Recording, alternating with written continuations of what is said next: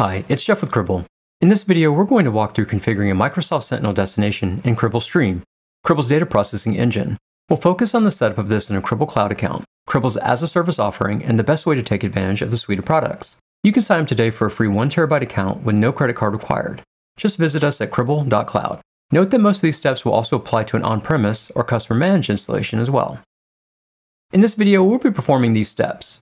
First, we'll configure our Azure Workspace to get the necessary components in place, such as our data collection endpoint, data collection rule, and authorizations. Next, we'll take the results of this work and configure the Cribl Stream Sentinel destination. And last, we'll set up a route and do a quick test to make sure data arrives to Sentinel as expected. A note before we start. If you want more information, make sure to check out our docs. To set up this destination, there's a good bit of pre-work we must do on the Microsoft side. The documentation walks us through this step by step, so make sure to check it out. We'll be following it to do this test, starting with the one called Preparing the Azure Workspace. You'll also want to have a place to copy and paste values, like a notepad document, as we go along. The first step is to create an app registration. I'm logged into my Azure account and have navigated to the App Registrations page. I'll click on New Registration and get this window. I'll type in a friendly name and we'll click Register on the bottom. When the window returns, note the application client ID for later use. Our next step here is to create a client secret. On the submenu navigation, click the Add a Certificate or Secret link. In the middle, click New Client Secret. Enter a description and select an expiration date that conforms to your security policy. I'll just pick 6 months for this test. Click Add on the bottom. Once done, make sure to copy the value somewhere as it won't be shown again later. We also need to note the authorization endpoint. Return to the registration window by clicking Overview, then click on Endpoints on the top nav bar and copy the OAuth 2.0 token endpoint. We'll use the secret, value, and endpoint when we set up the authorization for the Sentinel destination and stream. With this complete, our next step is to create a data collection endpoint. The name tells us what it is, a place we'll send our data to. In this part, we're in the Azure Monitor section of the portal. On the left-hand nav, click on Settings, then Data Collection Endpoints. Click Create on the top. Give the endpoint a friendly name, select your appropriate subscription, resource group, and region, and then click Review and Create on the bottom. Once validation passes, click Create on the bottom of the next window. When the list pops back up, you may need to refresh the page. Look for the endpoint you just created and click on it. Click JSON View on the right and copy the resource ID in the gray box on the top of that pane. We need to gather another ID for the Log Analytics workspace. I'm in the Log Analytics section of Azure here and have clicked on the workspace I'll be using for Sentinel. As in the previous step, click on the JSON view link and grab the resource ID in the top gray box. With that complete, we need to set up a DCR, or data collection rule, to get our data to the right workspace and tables. In this part, we're in Azure's Deploy a Custom Template service. We'll select Build Your Own Template and overwrite the existing text by pasting in the example template provided via a link in the Cribl docs. We'll click Save on the bottom, then on the next screen, select the correct subscription and resource group for your environment. In the Instance Details section, pick the right region and input a DCR name. For Workspace Resource ID, input the log analytics value that we captured earlier. And for the endpoint resource ID, enter the ID that was captured. Click Review and Create at the bottom. If validation passes, we can click Create on the bottom. When completed, click the Go to Resource button. Next, click Access Control IAM on the left-hand side. Click Add, and then Add Role Assignment.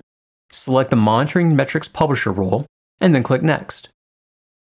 Click the plus select members link and then look for the app name we created in the first step. Click it, then click Select at the bottom.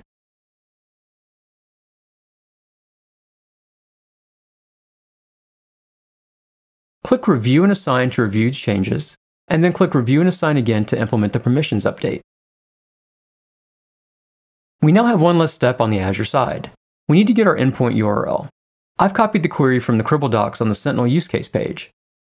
In Azure, we'll navigate to the Azure Resource Graph Explorer module shown here. We'll paste in the query and get any endpoints that were successfully set up. If you don't get results here, you'll need to check the previous work that was done. Here I filtered the query to just show my endpoints.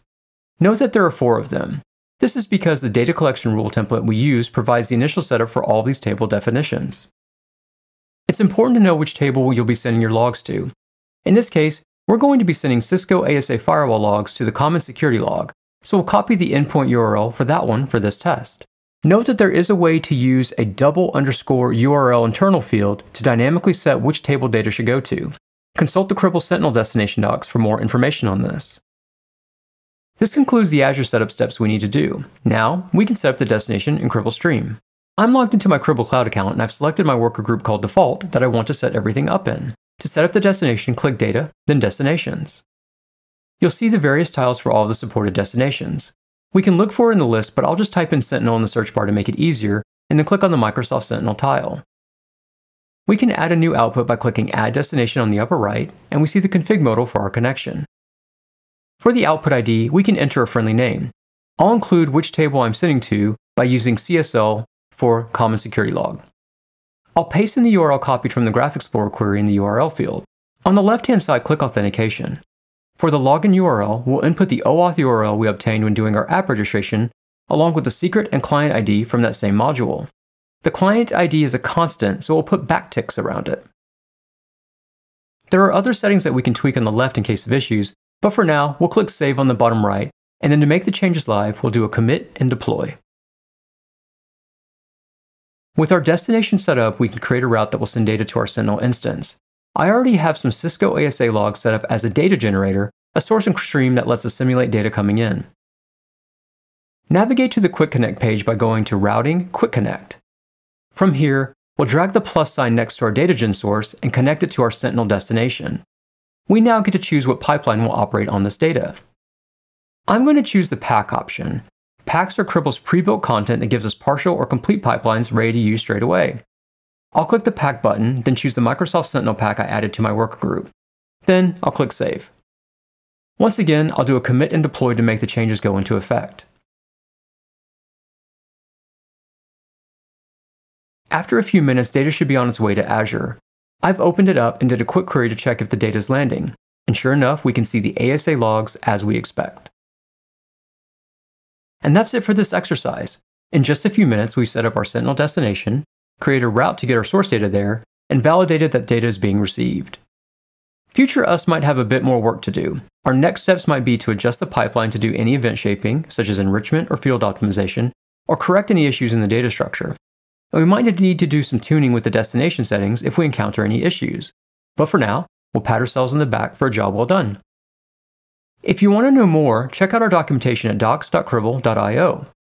You might want to try out our free sandboxes at sandbox.cribl.io. And join us at community.cribl.io to be part of the GOAT herd. And until next time, thank you so much for watching.